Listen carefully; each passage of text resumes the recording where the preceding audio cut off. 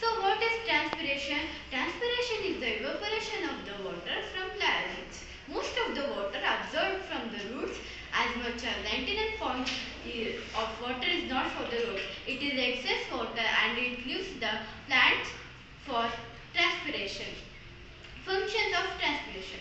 Transpiration occurs because transpiration occurs because plants take in more water than they actually need in a given time.